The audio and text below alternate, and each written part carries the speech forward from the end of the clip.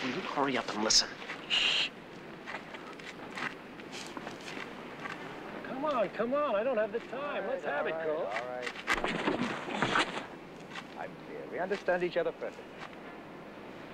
Here's what you asked for. Thanks.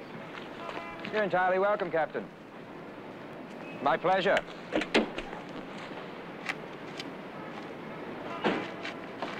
Okay. Okay, okay, okay. Okay.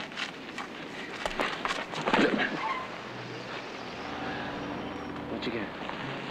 Hmm? Maybe too much.